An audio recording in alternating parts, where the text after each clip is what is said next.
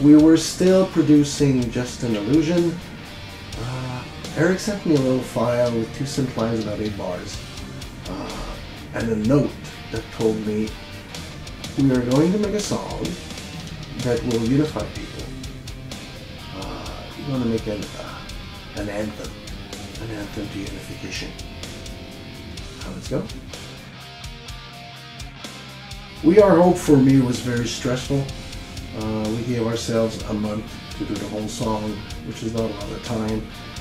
And the less amount of time you have, the smaller the margin for error is. So the end result is great, but I can't say that it was a relaxing project to work on.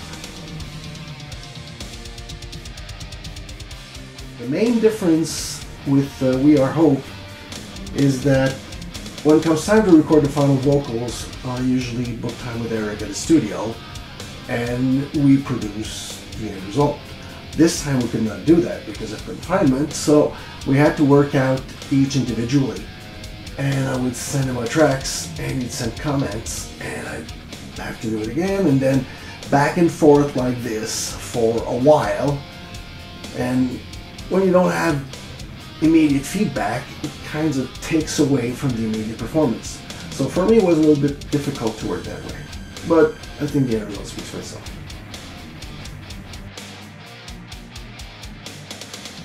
Uh, the first goal I try to achieve with any song is for it to be entertaining. Um, the second goal for this one was to unify people through their reality. Uh, we had to catch uh, the everyday worries of everyone living through confinement. Uh, I think it was done. I think we achieved it pretty well.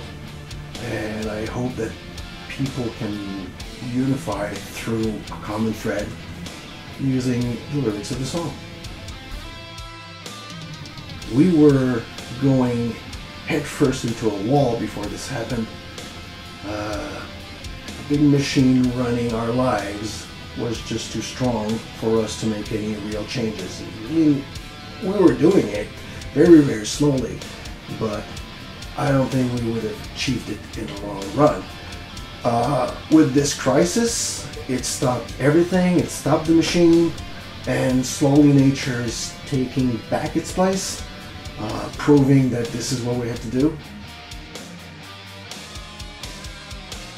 I have to admit I am very worried of how we will come out of this crisis.